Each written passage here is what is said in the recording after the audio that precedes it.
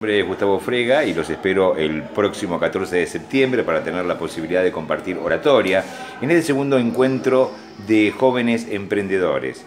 La oratoria como un arma y herramienta esencial para poder llegar a convencer y cautivar al otro.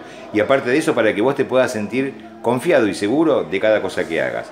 La comunicación es posible a través de la oratoria y todo lo que vas a poder lograr. 14 de septiembre los espero y juntos vamos a ser poderosos líderes.